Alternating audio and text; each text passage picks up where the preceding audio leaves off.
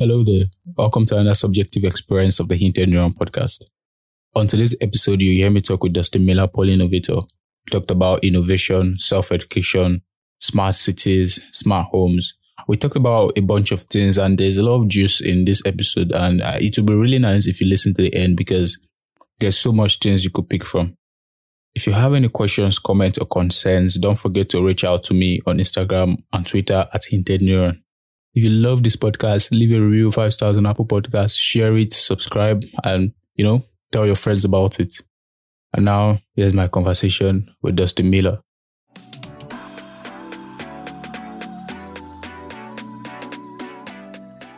I am here with Dustin Miller, Poly Innovator. Hello. Thank you for coming on the podcast. Sorry, I didn't know there was going to pause there. Thank you for having me.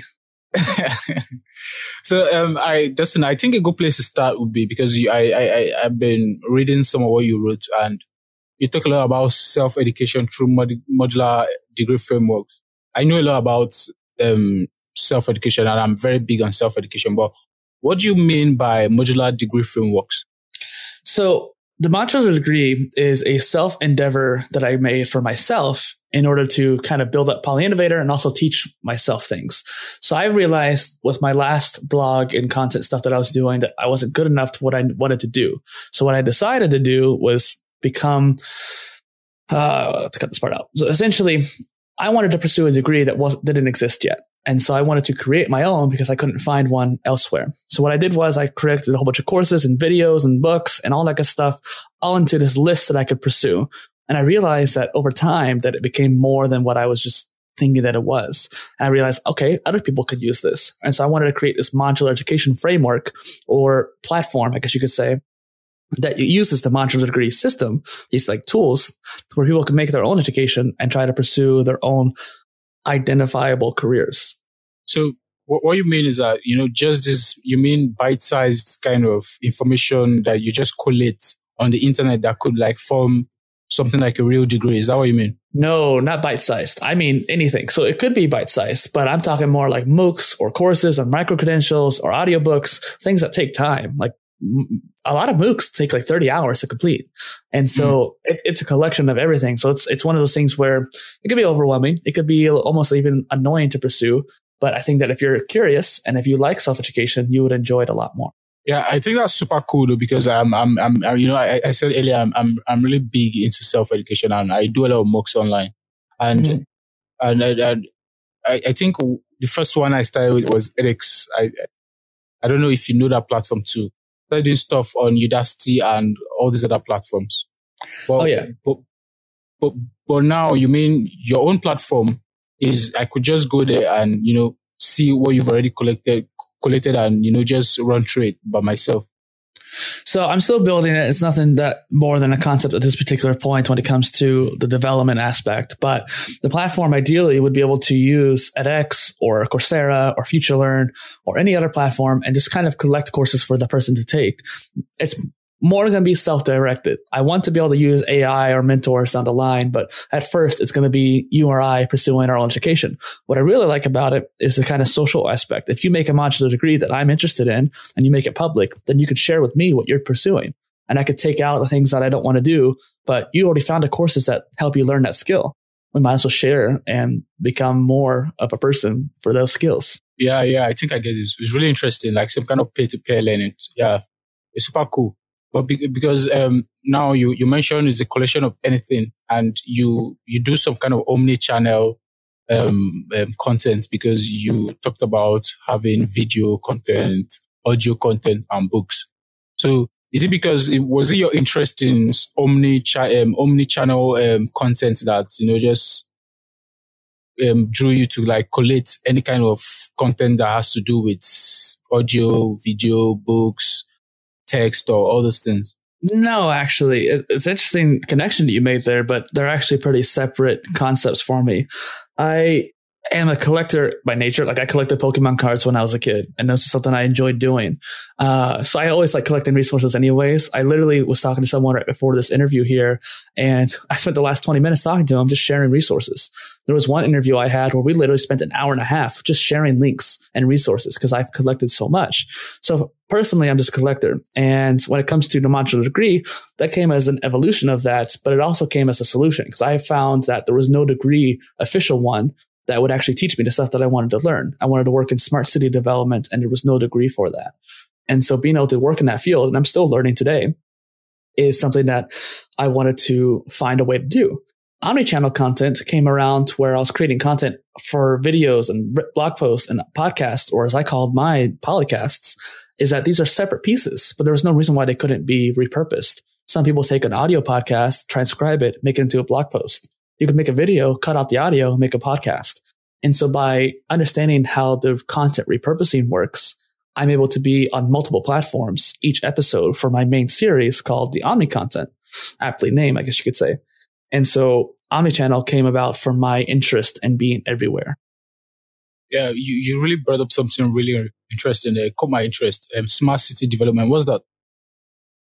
Smart cities are the future of what cities are going to be like. So when you think about street lamps, for example. Right now they're on a timer. They're not very smart. But when, let's say you're at an intersection at 2 a.m. and you're trying to drive somewhere and it's red light for you, but there's literally no one for miles around, if that is the case, or just for a long distance at least, then the sensors on the smart lamp or smart street lights, so to speak, could sense that, okay, you're the only person here. Let's change the signal to where it's green. Or if there is sensitive sensors on the ground saying, okay, there's snow here. Let's send an electrical charge to the concrete and melt the snow. These are different technologies that are being developed that by themselves could be really awesome. When you put them all together, it could be revolutionary when it comes to data. For example, Singapore is a smart nation. They actually built a lot of the buildings in their city to control the wind flow of how the wind flows to their city in the most ideal, optimal way. These are things that smart cities can do uh, are these really connected to Internet of Things? Because yes. I, I, I know a lot about IoT and I, I read a little about it. I, mm-hmm. I did the foundations of what smart cities would be. Yes, in a way. There's also a matter of like philosophical and ideological aspects behind smart cities as well, because it is a different way of operating. Think about it with like automated cars. When Tesla is trying to make all their cars have AI to drive it, it's still being developed right now, but eventually 20 years down the line, you'll get in a car and there's no driver. And there's going to need to be organizations or systems in place to organize where those cars go, how they interact with each other. And there's a, there's a matter of privacy. And a lot of people don't like that. IoT, AI, machine learning, these are all foundations for smart cities. Yeah, it's interesting you brought out because I know I'm a software engineer myself mm-hmm. and um, I work in AI field. I work um, around reinforcement learning. I don't know if you've done, if you know, yeah. So I do a lot of reinforcement learning and um, and um, multi multi multi agent systems and and because you brought up Tesla, which is a really good example of multi agent systems whereby these agents are in in in the wild collecting data. So my car could be collecting data that other cars would use and I, I think that's still a pretty interesting link with smart cities because I think this data would be used across all, you know, all nodes in maybe there are particles in this smart network. But I want to get your own perspective on that. Yeah. I mean, when it comes to collecting data, it's one of those things where there's so much we haven't explored. So if, if you want to get on a slight tangent here, we only know about 5% to 10% of the ocean's contents. We have no idea what's going on in our oceans.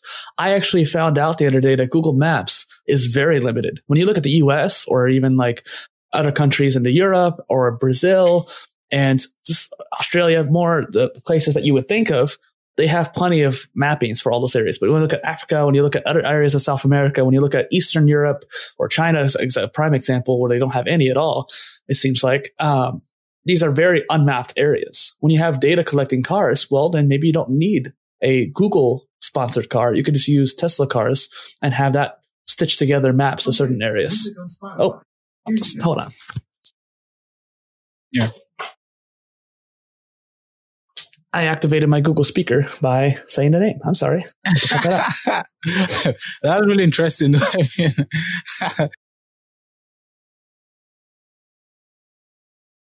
Uh, okay, when it comes to data privacy, then this is a small tangent here. That'd be a good idea. Is that there's these big companies. There's Facebook, there's Amazon, there's Apple, there's Microsoft, there's Google.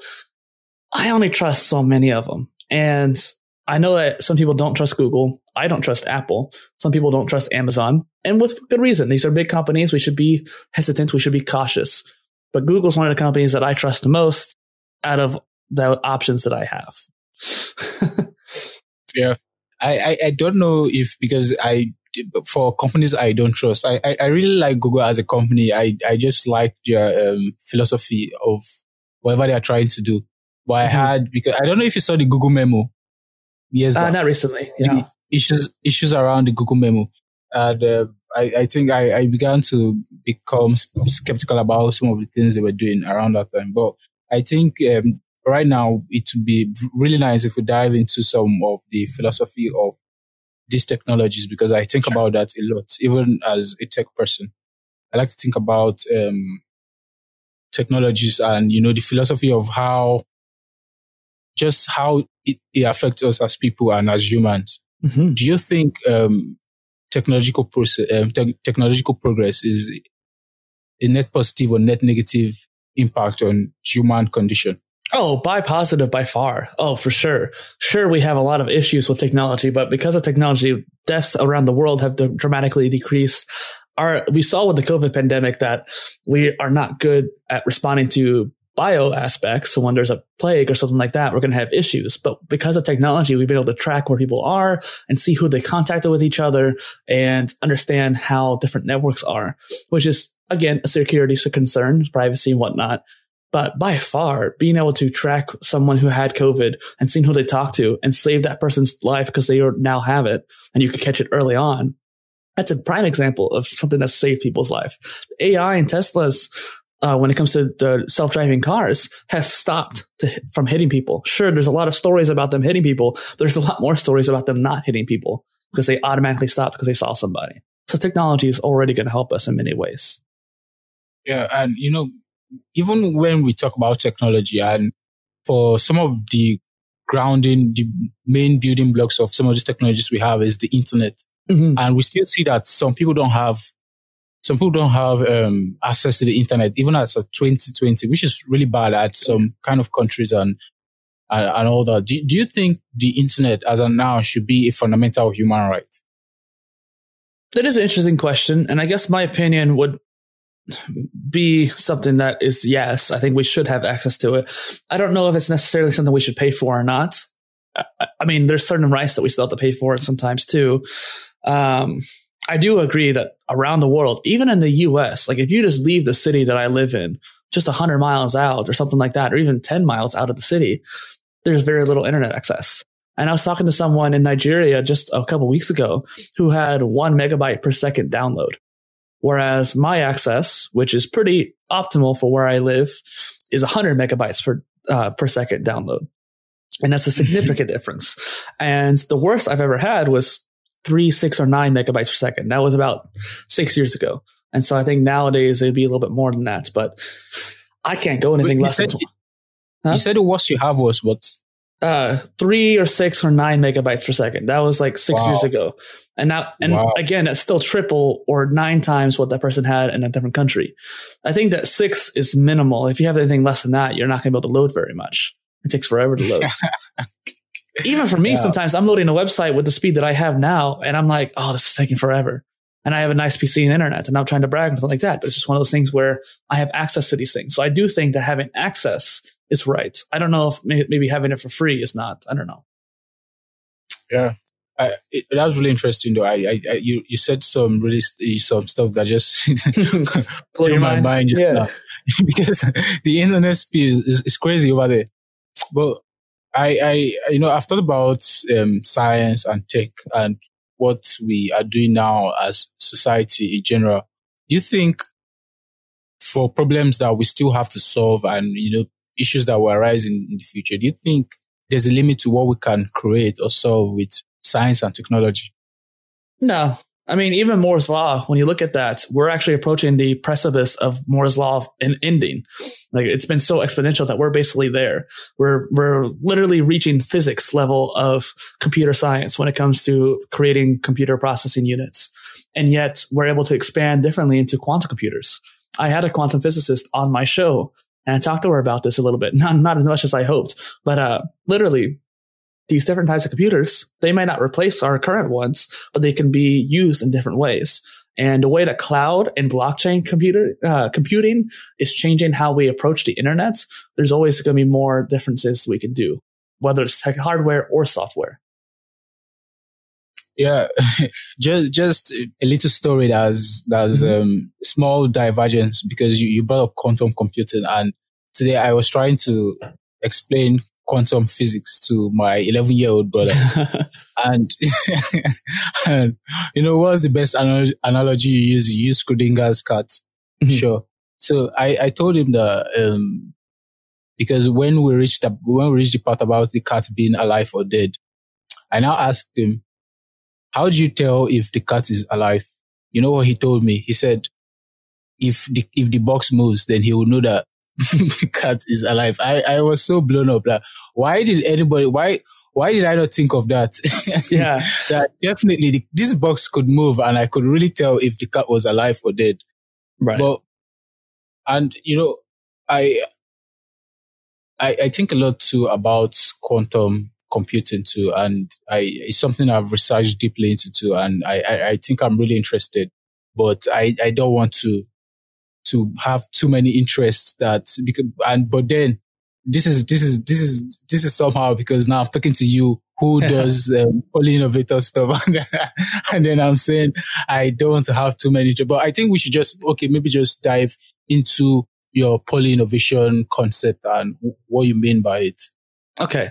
Before we move on to that, just to kind of go off of what you said, one of my friends literally made a tweet that says, I can't decide whether I'm hungry or full today. And my brain is like, your stomach is in a quantum state because you can't observe it. it's fantastic.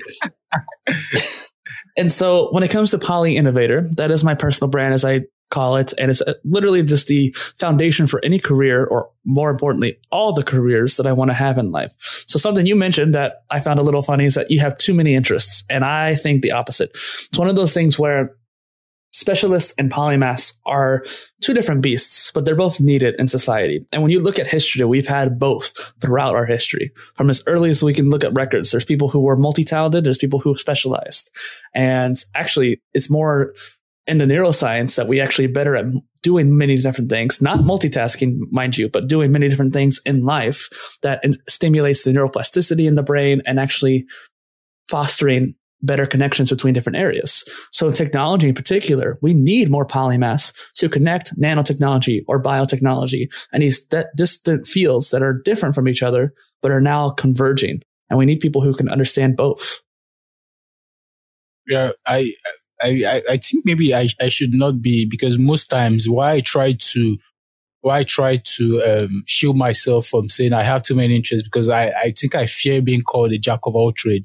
And, okay. You know, well, let's touch on that real quick because I, I, have something to say just right off about that. Being a jack of all trades is not a bad thing. We've had negative context over the past hundred years. And mind you, that's only been hundred years that people actually gave people crap about being divergent interests. But the full saying of jack of all trades, master of none, but also sometimes better than a master of one. People don't always mm. hear the last part. Yeah, I, I think that's really interesting. And, and, and I am and and for those who will be listening, and it's, it's, really an interesting point for them to draw though, because society is just hell bent on pushing you to this one thing. Mm-hmm. Just do this one thing, focus on this thing, and be good at this one thing. Because even when from when I was young, I really just hated being one single thing. Like you were trying to constrain me. I was like, I, I needed to learn so many things. I want to do so many things that has, you know, a lot of sciences have intersections, engineering, mm-hmm. chemistry, economics, and just so many things you you wish you could learn, and they just push you into one thing. Do you think is our education system that that is to be blamed for this? In part, yes. So I'm not sure how it was for where you are in the world, but in the US, the Industrial Revolution hit pretty hard in a good way. And we were able to make dramatic changes, although some choices they made were kind of dumb. We're a very car centric society, despite the fact trains would do a lot better. So that's a whole nother tangent right there. But in the Industrial Revolution, we st- started establishing how we approached a nine to five day work job or um, how we approached specializing people, basically to be cogs in the machine. And David Epstein, the author of Range, a really good book for someone like you, is talks about how specializations for ants. Insects specialize. Humans are multidisciplinary people by nature. Now, if you want to be a specialist, that's totally fine. I'm not, just because I said specializations for ants, I quoted that person, doesn't mean I don't think specialists are needed. We do need some still too. But if someone is more naturally inclined towards many different areas, we shouldn't stifle their creativity or innovation. Their curiosity is going to lead to more innovation. Yeah. So let's let, let's talk about um, the concept of uh, because it's, it's, really nice to talk about genius, the aspect of genius when mm-hmm. we, we are, we're talking about innovation. What, what do you think is genius? It's interesting that you mentioned that because the person I, I interviewed on my show, and I also went on his show, he hosts a show called Thinking Like a Genius, and I had him mm-hmm. on mine. And I just released the episode last week at the time of this recording, which is funny. So it's right on my mm-hmm. mind, actually. We talked about neuroscience and flow.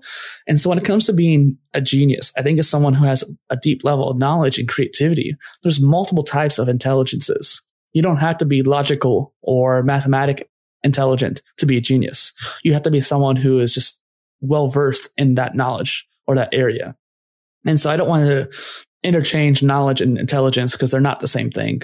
But by building knowledge and stimulating your brain in some ways, you can become more intelligent in that area. We are not locked by nature into one IQ level or EQ level. We do have a hard time stimulating that, but it can be done. Yeah, I want you to help me paint the picture of the distinction between these two things, knowledge and intelligence. Intelligence is a more ethereal factor. It's one of those things that we are born with, but we also can change nature versus nurture, so to speak. And then and knowledge is something that's more broken down into skills and learning from books or MOOCs and the stuff you acquire. By nature, the more you acquire, the more intelligent you can become. That's why a lot of geniuses throughout history read books Tai Lopez is prof- a prolific reader. And it's one of those things where Leonardo da Vinci, who, who's my hero, literally spent countless hours studying and being curious about various different things. He wasn't in a point in society like his his notoriety was very great, but he actually was a bastard. He wasn't able to become uh, a high ranking member of society. So that means he wasn't able to learn Latin. He couldn't go to schools. So he had to teach himself but he is someone of way high intelligence and many different intelligences actually that we regard as someone who's a genius, but he was very uneducated. Yeah, if if we look at society now and you know just humans in general, people and you know people want what's best for them, right? And genius is good. Why why do you think everyone can be a genius in society? Because I, have thought about it, and you know, why why is it that everyone can be a genius? I, mean, I know that like if you look at it technically, if you look at the brains and the capacity of what we can do with neuroplasticity and just growth, and just some people are genius by nature, and if you cultivate that, they become a genius. But and this is an area that I still need to dig into more into is genius. But I do not think that everyone can. Not that they're not incapable, not that they're incapable of it, but there's a certain level of self education and grit and capacity that just some people just don't have. I know people in my family who just don't want to get off the couch and do stuff. I know people in other people's families who don't want to do the same. People all around the world can be lazy.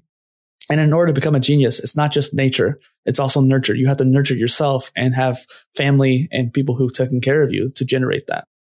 Yeah. I, but then again, you know, I, I, I think about socialization in terms of how people because I, I always try because I, I work hard a lot and mm-hmm. I see a lot of people who don't do as much.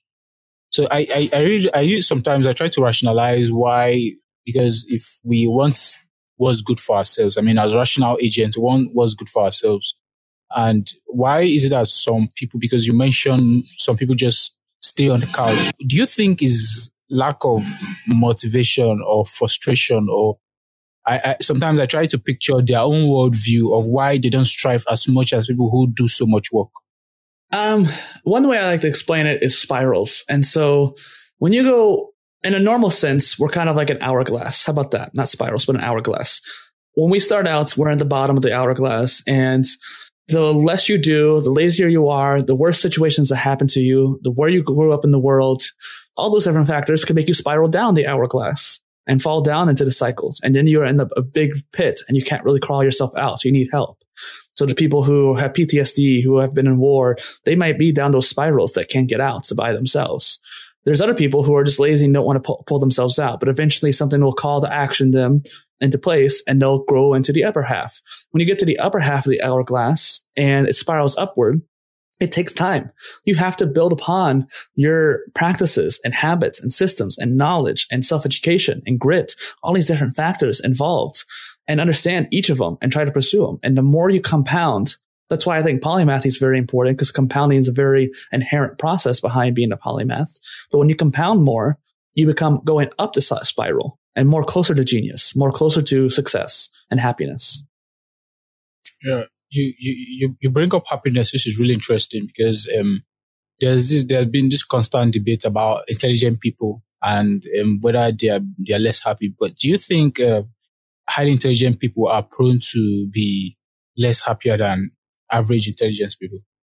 I mean, ignorance is bliss, isn't it? And so, yeah, I guess by nature, more intelligent people are going to be sadder. Like you could think of Robin Williams, a famous comedian, someone who's an actor and prolific polymath, I would even say. And he did so many different things. People always saw him with a smile on. And yet he killed himself because he was not happy, because he wasn't able to share it with the world. When you're surrounded by people who are not as intelligent as you, it's going to bring you down in a way when you separate, surround yourself with people who are more intelligent than you. Bill Gates, for example, small little tangents. Bill Gates literally is a genius in many different ways. He's, he's a polymath in, in modern day and he surrounds himself by experts, people who are smarter than him because they bring him up. He's able to go toe to toe with these experts and feels that he just barely touched on. He's self-educated himself, which most people would think that that's not very powerful, but it is. He's able to go toe to toe with these people because he pursued those educations very deliberately and powerfully. And so it's one of those things where he surrounded himself by people who are smarter than him. So he's probably significantly happier. That's just an assumption, but it's still. There's a book, I don't remember exactly what it's called, something about genius by Walter Isaacson, who literally he talked about in one of the podcasts he was on, how, and also in the audiobook as well, geniuses who are alone are often unsuccessful. It is the geniuses who can actually gather people around them and do stuff with them that are actually successful. Nikola Tesla had a benefactor, but he was very isolated. He didn't actually communicate with people very well. They might even thought he had some mental issues in a way, but he was a significant genius and made significant progress when it comes to electricity. But he was alone. Thomas Edison, his competitor, is much more renowned and successful in the public's eyes, despite the fact he was a bad person, but he was able to market himself. He was able to get interns around him and bring people in you, you, you bring up a really, really interesting, very, very, very interesting topic there because I, you know, I've thought about this a lot and maybe I have experienced it. This sort of depression just because you don't have people who, who, people around you to stimulate your brain and just to make you active in any way. And we, I mean, there's so much you could do alone though. There's so much you could do alone. And, and I think at that point in my life, I just hit this limit where I, I needed, I needed a lot of stimulation, a lot of people to talk to, I mean, I, I, I do a lot of stuff on my own. I read, I do research and, oh, I, I, I broke down that same time just because I, I, I was lacking stimulation from, you know, just high level conversations whereby you, you know, those kind of conversations where you leave, you have so much energy to go yeah. back and do some kind of other thinking. But if, what, what do you think as, you know, as society we could do? Do you think technology could solve that issue? Like, maybe building platforms that connect people in this kind of very connected way. I, I, I, I don't know though. I think that with the internet, more people like us are connecting with each other. I mean, look at, for example, what we're doing here. We are literally trying to establish a, a common ground between you and I. We know each other mm. through Matchmaker, but that's it. And yet we were able to go dive right into this conversation and have a fascinating conversation with each other. So I think that you and I both are trying to pursue this. And by having interviews, it's very helpful because I personally have felt very different after having these interviews that I've had on my show. And so I think that for you too is having people who are smarter than you in some ways, it's maybe dumber than you in some ways to teach them too. Sharing knowledge is very crucial. Yeah. You you you you brought up um, a topic on self development the other time, and I, I what I saw in your blog when I was doing some research was you, you talk about this um, self development through the four pillars of um, philosophy. Mm. What, what do you mean by that? So I created the four pillars based off of my learning of philosophy throughout different cultures throughout the world. And so self development through the four pillars means taken after the four major aspects of life. So going back to that hourglass analogy, I mentioned grids and self education and stuff like that. But in reality, I think that going up and down that hourglass revolves around these four pillars the mind, the body, the spirit, and emotions. Now, understanding those aspects of your life can be very hard. That comes down to emotional intelligence, not just in yourself, but in others as well. Your happiness, like we talked about moments ago, revolved around kind of having that social connection. We talked about education earlier too with the modular platform and how peer to peer learning is very important. Having that sharing of knowledge that makes you happy. You try to explain uh, things, quantum physics to your, your family member who's younger than you because you wanted to share that knowledge with somebody. You wanted to have that connection. And so I think that that happens to impact our emotions, our mental well-being. Our emotions actually directly impact the temperature of our body and physically make changes to our body. The spirituality aspect is kind of having that connection with your subconscious and the people around you. Not necessarily religious, but in, in a more scientific way, the bridge between the conscious mind and subconscious mind. So that's what I mean. Uh, do, do you think though that um, as as people in general, do you think um, understanding philosophy could lead, lead to progress in society? If maybe more people had knowledge of philosophy could lead to meaningful progress. Oh by far yes. Um, i believe it was socrates or plato i can't remember which one who talked about the philosopher's king which is a king of back in that time that's what they acknowledged uh, that's what they talked about word for leaders. But the leader who is driven by philosophy not by internal emotions and primitive mindsets are the ones who are able to make significant change in the world. So if we can have a leader, let alone society, that's based around philosophy, and doesn't matter which philosophy, just a matter in general of expanding the mind, I think is very important. Yeah. I, I think that was, that was a really clear perspective. I, I think I love that perspective a lot. Well, let and, me add on a little bit, please, if you don't mind. My dream in life is to be CEO of an international company driven to innovate technology and ideology, which is just another word for philosophy finding the balance between those two. So I think that's something that you might resonate with. Yeah, sure. I, that, that's super interesting though. I'm, and I, for, because most of what you're doing too is, you know, trying to better human life. And I think about that a lot too. And, you know, alleviating, mm-hmm. just kind of trying to remove suffering from the human condition. And I, I think that's still the same thing you are basically trying to do with smart, smart cities you know, trying to remove as much suffering and and um, hardship from human lives. But I, then again, I think about human nature too, because we, we could say we want to lessen suffering. But do you think um, human nature can be changed? Or should it be changed, in fact? I mean, whether we should or shouldn't, I don't think it's the real question to ask. It's, it has it changed? And if you look at history, I would say it has. We're still evolving physically. I'm sure we're going to evolve emotionally and mentally and spiritually as well. If you look at certain places around the world where they're a little bit more isolated, like Tibet, where they're more spiritually inclined. And so I think that when it comes to certain aspects of humanity, whether it's a, one of the four pillars or something else, I do think that we are changing. And if we can accelerate that change, then that'd be really great. Uh, I, I want us to you know, go go back to smart cities you talk about because that's something that really um, catches my attention too. So for smart cities and you know just um, apart from you know the outside view, what what do you think about smart homes and and things that could be in our homes in the future that would you know just make our lives easier? I mean, they're all part of the same system. So on a citywide scale, having smart homes is going to be helpful. For example, digital electricity. 3DFS, I think, is a really good platform that's building out these digital electricity power for the households. So, for example, in the US, we have analog electricity, which means we have all these cables dragging around. If you look at these streets, you'll see cables dragging around along the streets. It's very primitive, I would say. We built it probably 60, 70 years ago, and we're still using that same system. And the way it works is like sending a whole bunch of electricity through the network in one direction, sometimes can switch directions, but most of the time in one direction very powerfully. And by distance, there's these little nodes that break down electricity more and more until it gets to your house. And then once the electricity gets to and then once electricity gets to your house, it um, breaks it down even farther into the outlets.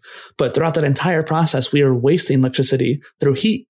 The heat just escapes from the cables. And so we're sending in maybe 10,000. I don't know if it be amps. I don't know the particular terminology for it, but let's say 10,000 amps. And throughout it gets to your house, only about 6,000 is actually getting to the house when it comes to breaking it down. If you were to look at it in that analogy, it's like sending a power, uh, fire truck hose of water into a little teapot. It just doesn't make any sense. Sure, the water's going to get in there, but it's really wasted. So if you get down to the digital electric grid, and trust me, there's a point to what I'm saying, this little tangent here. When you get to the digital electric grid on a city scale and home scale, it makes a big difference on efficiency, how much electricity we're using, and more importantly, the whole economy of electricity. Right now, we're paying for people to provide us electricity. But if we have solar panels on the top of our roof and maybe a wind generator, I don't know if we'll have that, but if we have a wind generator in our household somehow, some way, well, then we can generate our own electricity in our own house, which is a node. Well, eventually you're going to probably generate more electricity than you're actually using. And then you can send it, sell it back to the grid. And that digital system is the key to doing that. You can't do that in the traditional system that we're using now. And so being able to send back electricity into the system and actually generate more is a key thing about the households. I do not know if that directly answered, answered your question, but it's key to smart homes and smart cities. Yeah, that, that's really interesting. I, I, you, you brought up really key things that, um, that I think that are really, really good and important because most of times when I'm thinking about, um, smart homes and maybe for me, I, I think about just the fun, playful part where, um, Google system, I, for example. my fridge, if I'm running low on, on fruit juice, like my fridge could just help me order something. Mm-hmm. So um, help me restock or something from, it's connected to maybe the, to maybe to Amazon or something that could help me reorder um, fruit juice. But I, I think you really brought up some very useful things that, that are interesting there because for, for people like me who have not thought too deeply into this, but if, if if if we look at society now and and you know with the way things are going, you you you seem like a really good tech person too, and I've thought about this too. And for do you think if our government were run by algorithms and AI and statistics, maybe the world would be a better place at all? I'm not sure if you're referring to a technocracy or not, but I actually thought about this today. Like, why aren't we just running by AI? And it's one of those things where we do need people involved. AI can only get to a certain point in the next coming decades. And even if it gets dramatically improved through exponential progress, I do think there's a certain point where AI can to make the decisions that we need. There's a certain point where a, um, AI still needs humans to help make decisions that are the most benefit to society. That means you have the opinion that maybe the, you know, because if we remove humans, if we, I mean, if humans are still in the loop for any kind of thing we do concerning technology, that means the singularity might not occur. I'm saying more in the next coming decades because it's one of those things. The singularity may occur, but I don't think it's going to happen in the next century. Honestly, yeah. In in, in terms of um, the human condition, or what, what, do you think we could be doing? Because I, you might have thought about this too you know, just around society for, okay, maybe people in, people, people uniquely or society at large, what, what do you think they could be doing for themselves or in society mm. to make things better? That's a good question. So, to give a little bit more context, before Poly Innovator, I created a brand called the United Living Construct, which I meant to be a hub of innovation for people like you and I all around the world to come together to innovate and make a change. And that whole thought process came from world unity through self development. And so that whole idea of starting from the person, developing, educating themselves. And then as a society, if everyone's doing that, the whole society elevates because each individual person has elevated themselves. So having a smart city is great, but if the people in it aren't actually making use of it in the most accurate or important manners, it doesn't matter. And so I evolved from that into Poly Innovator because I wanted to be able to be more teachy and be more personal. And so I wanted to create this modular education, which is actually the first part of my personal poly innovation system. So it's a three part process self education, self improvement, and self development, all of which helps with that hourglass analogy that I mentioned earlier. Self education as the foundation through the modular degree or just any sort of autodidactic endeavor, really. And then the second part of that being habits and systems. What are you doing on a daily basis that contributes to your life? Are you working out? Are you taking care of your body? Are you making sure that you're actually getting a job? Are you taking care of your habits? Are you being lazy and not doing as much? Or are you being very proactive and getting things done? That comes down to your habits and systems. And then beyond that, the more exponential factor, having the four pillars. If you understand your four pillars of your life, you're going to be able to make a bigger change. Yeah, you, you bring up something really interesting there because you talk about self development and self learning a lot. What do you think is the future of schools and maybe if maybe maybe let me just say the next maybe 30 years 40 50 years how do you think schools will have evolved or do you think they'll ever catch up at all or they'll be eradicated some for one, it's going to change dramatically. Universities are, I don't want to say archaic, but they're still kind of following the same traditional learning that we have for a long time. And many people aren't learning in that way.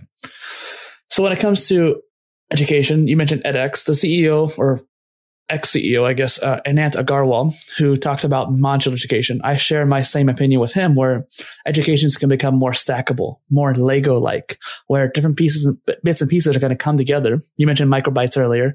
It's one of those things where if, even if it's as big as a course or as small as a module in that course, coming together into your own individualized curriculum. That's the whole point behind a modular degree for me as well. Yeah that's really interesting. And and I still want us to touch on there's this thing you talked about when, when we brought about the issue of philosophy. Okay. You talked about um, spirituality. Do you think um, spirituality is quite important? Uh, do, do you think is important for a happy life or is maybe is important for for people as a whole? Spirituality is a tense concept because some people think of it as religion. And sure, you can be more spiritual through the religion, but I often find that religious people don't have a very strong spirituality in general because they often get blindsided by their faith. And I'm not saying anything about faith. I'm just saying from what I've seen from multiple different cultures is that many people get caught up in the philosophy of their faith and the belief systems that they neglect themselves in a way. And so I believe that spirituality is a connection between the conscious mind and subconscious mind, building up the connection, building up the neural pathways and connections in your brain. Whether that means studying or pursuing some kind of art or ikigai, if you will, maybe. I think spirituality is a big part of it, which is why I put it into four pillars, but I don't think it's as basic as we're putting it in this context. Yeah now you brought up two things that really caught my my attention. Okay. You you brought up um, consciousness, and I, I still I, I, I think we would dive into that if you have time. But I, I want you to talk on what you mean by ikigai first of all. So ikigai is a Japanese concept for a reason for being. I'm actually going to make a mini series on this with my content down the line. And the reason for being is a combination or a Venn diagram of these four areas what are you're good at, what do you enjoy doing, what you can make money off of, and what the world needs. And you could, if you could find the culmination of all four that's particular to you, everybody's is different, then that is your ikigai. And so being able to find that is one of the reasons why a lot of Japanese people live really long because they live happy lives. It's one of the key keys to happiness, I would even say. And so in uh, Okinawa, I believe is where a lot of people live up to like 90 or 100 years old they're able to do this because many of them still work up until their 80s and 90s. They're still working even though they're old. And it's because they're very fit and happy and able to do so. They're fit and able, I guess you could say, because they have found their ikigai. Yeah. Now, now you know you, you mentioned is, is, is an old Japanese concept. Does that have to do with some kind of spirituality too? I mean, I would say so, considering if you find your happiness, that's going to lead to spirituality. Because spirituality is just a process of human desire to understand things. And yeah. I think that if you understand yourself more, it becomes easier to understand the world around you, even if you want to or not. Yeah, please can you can you spell it just so that people who want to Google it, um, listening, just yeah. Google stuff. Well, there's a good book on it too. I K I G A I. Yeah, cool. Thanks. So I, I want us to talk about because you brought up really, really interesting things about consciousness too. And I think about this topic a lot because as someone into artificial intelligence, I try to think about if machines will be conscious one day. And I, I think about my own consciousness too. You mm-hmm. know, I meditate a lot. So I, I'm very aware of, I, I try to take note of the human consciousness and, you know, everything around that aspect. Do, maybe you you would have your own definition for it first of all but what do you think is human consciousness it's probably the manifestation of thought essentially the i guess you could say the electricity impulses of the brain. I'm not sure exactly how it's built up. Most people aren't actually at this point. Even neuroscientists they're still testing electrical impulses into the brain and seeing how the body moves in rats for example or even dead cat, uh, people. And so understanding how consciousness is or operates is something beyond a lot of us at this point can understand. And I think that's kind of disheartening for people who want to learn like yourself. But there's another aspect of just digging deep and understanding yourself. Consciousness is understanding for the most part. And if you don't understand yourself, if you don't meditate like you're doing, then you're not going to understand what you're doing. And I think that impacts the other pillars as well. Because if you don't understand who you are and who you can be, then you're not going to know what you need to do for your body or your mind or how your emotions are. Because if you're unsatisfied with your life because you don't know where you're going, then your emotions going to be wrecked. You're not going to take care of your body. You're not going to take care of your mind. Yeah, you, you still brought up a really interesting point now. What, what do you think? Um, because as someone, because um, a lot of people live day to day lives feeling just so sad. How do you think we as people could build up happy lives what do you think we could be doing at, you know, uh, maybe a very micro, macro scale to lead happy lives in society? I mean, I created a personal poly innovation system for this reason. I wanted to improve people's lives and give them opportunity to pursue success and greatness. And so the, the personal poly innovation system or PPS, as I say, is a foundation, it's consistency and it's exponentiality. Once you get those three aspects behind it, then that's going to make your life dramatically different. Even if you use some other kind of system, but yes, besides mine, this will still help you get you towards that. Yeah. Even, even apart from happiness, because I, I try to, I try to think about, you know, satisfaction and not satisfaction, not this self guilt that a lot of us face. And, um, okay, okay, let me just tell you now, right now, as we're having this conversation, um, you know, I'm trying to, because sometimes when I say some things, I'm like, why did I even say that? um, because I'm, I'm, I'm judging myself, trying to judge myself about about whether I'm doing better, whether I'm doing better, and just the self guilt normally in mm-hmm. what I'm go. doing. Even it's happening right now in this conversation. I'm just trying to ask myself if I'm even doing well at all in this interview.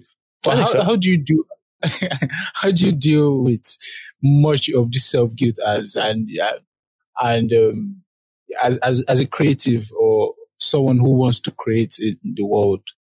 Um, I told my roommate this the other night and he laughed at me, but in Gary V, Gary Vaynerchuk, a famous entrepreneur, talks about it a lot is yeah. Don't care about what other people think. At this point, you are living the life that you want to live, or at least trying to. And if someone's judging you, well, that's prerogative. That's their prerogative. They, if they leave a hateful comment or say something mean to you, or even say something nice to you, you don't have to internalize it. I gave you a compliment because I thought that you are doing well and I wanted to convey that. And you seem to, you see, I, I thought you were doing well. I didn't even think about it, but you seem to be now telling me that you're kind of nervous and overthinking things. I was like, well, if I give him a compliment that's genuine, he's going to feel better about it and that he's going to do better the rest of the interview.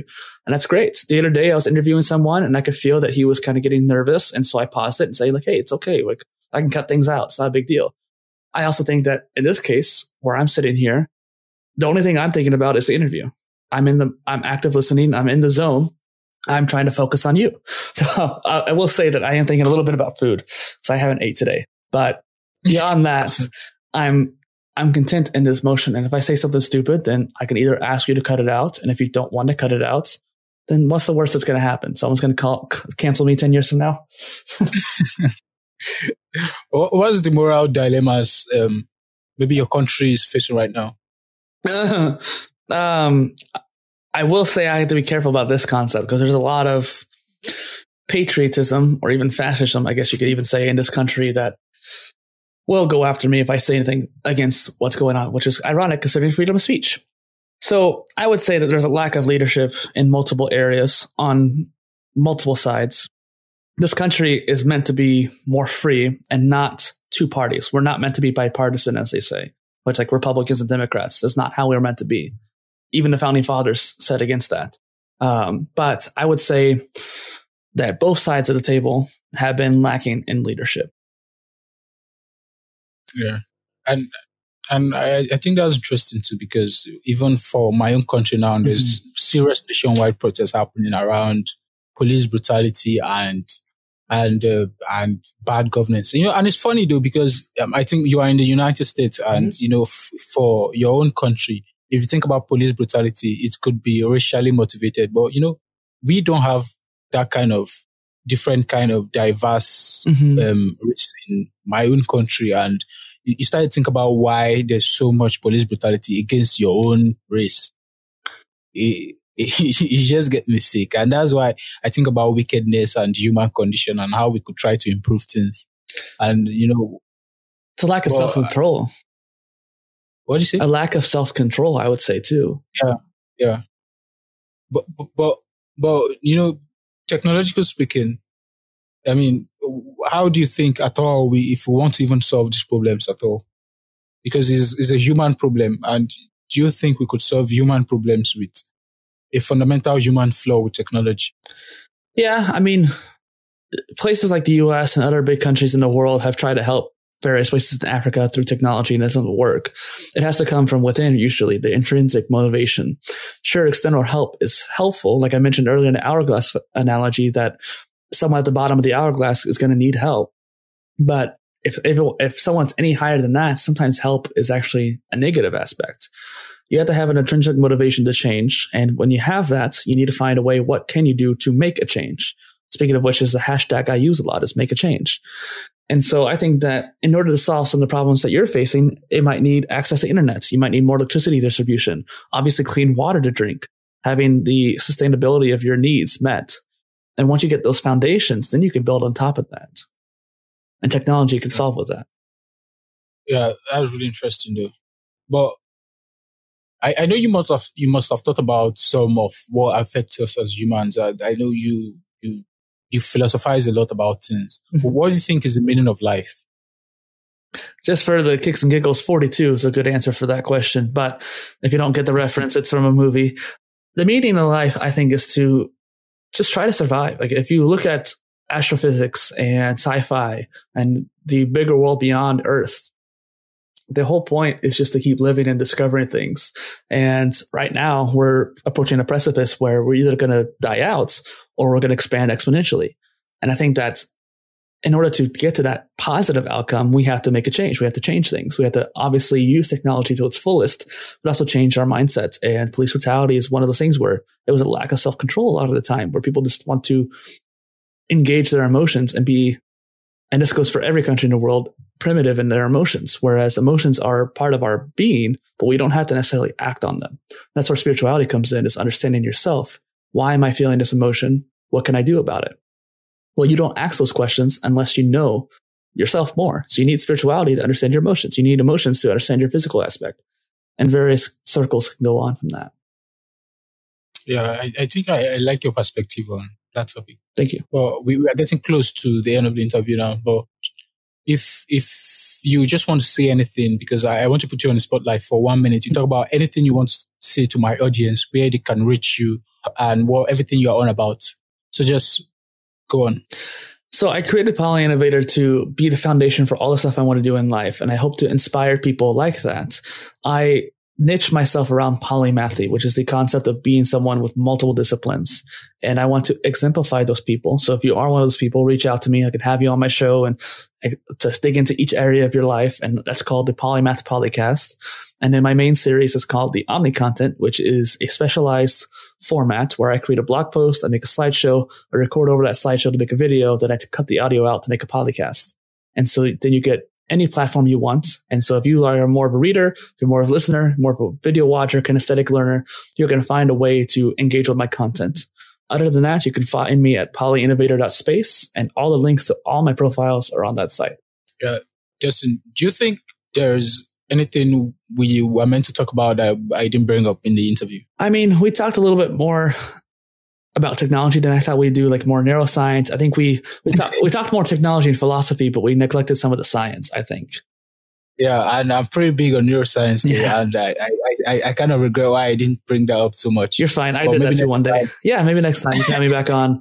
I had a quantum yeah. physicist on my show, and we talked a little bit about quantum physics, but it was more about, or like quantum computing specifically, but it was more about her brand and talking about her. And so I was like, that was a fantastic interview. But I was like, wait a minute we ended the interview, talked for hours. I was like, wait a minute, we didn't even talk about quantum mechanics. and I was like, okay, I'm gonna have to have you back on because fantastic interview. Like I enjoyed it thoroughly, just like this one too. Like we didn't talk about it. You'll have me back on. We'll talk it again. Yeah, sure, man. Hopefully, looking forward.